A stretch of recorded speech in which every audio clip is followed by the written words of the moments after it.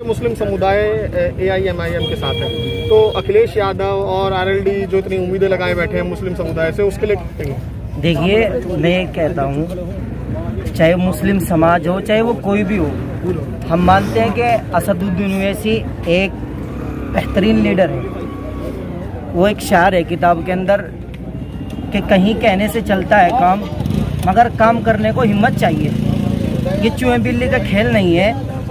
अगर हमारी सरकार इस चीज़ को देखे कि आवाम परेशान है किस हाल में है तो अगर आपकी मदद होगी और आप परेशान हैं तो आप उनकी तरफ़ चले जाओगे।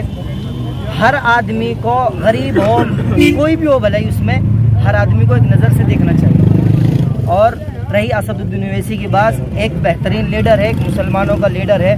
मगर हम सबसे ये अपील है, और मैं पहले भी अखबार में इसकी अपील की थी, सब आवाम से यूपी की कि जो हमारे सामने, चाहे वो असदुद्दीन ओवैसी हो, चाहे वो अखिलेश यादव हो, चाहे जयंत हो, चाहे कोई भी हो, हमें खुद अपने दिल से फैसला करना चाहिए कि हमारे सामने कौन अच्छा लीडर है, उसको वोट करें, उनसे अपने कामों का अहद करा लें तो हमें तो सिर्फ़ इतनी बात कहना चाहेंगे।